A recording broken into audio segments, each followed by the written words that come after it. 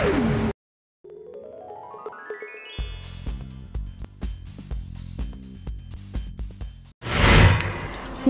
S news में आपका स्वागत है। मैं हूँ आपकी दोस्त मालवी शर्मा। दोस्तों, आपने अधिकतर देखा ही होगा, बम जो होता है वो लोगों की जान लेने के लिए होता है। लेकिन जैसा कि आप जानते हैं, साइंस ने बहुत तरक्की कर ली है। एनडीआरएफ के स्टॉल में अब एक ऐसा बम बनेगा, जिससे लोगों की जान नहीं जाया करेगी, बल्कि जो लोगों की जान बचाएगा। जैसे कई लोगों को आपने देखा होगा, आपातकालीन आने पर जैसे हार्ट अटैक आ जाता है तो उनकी जान चली जाने लगती है और कई लोगों की मृत्यु हो जाती है। तो ऐसे ही लोगों को वो बम बचाएगा।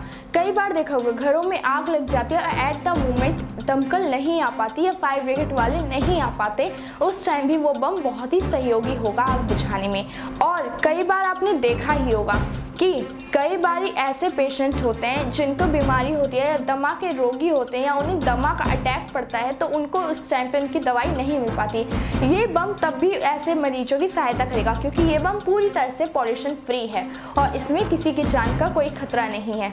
ये थी एस न्यूज़ की रिपोर्ट दोस्तों, अगर आपको मेरी न्यूज़ पसंद आई या मेरे से रिलेटेड वीडियोस आपको पसंद आती हैं तो मेरे चैनल को लाइक करें शेयर करें सब्सक्राइब करें और कमेंट करें और बेल आइकन दबा दें। और दोस्तों कमेंट करके मुझे बताएँ कि आप किस विषय पे वीडियो चाहते हैं। मैं आपके लिए उसी विषय पर वीडियो बना दूँगी।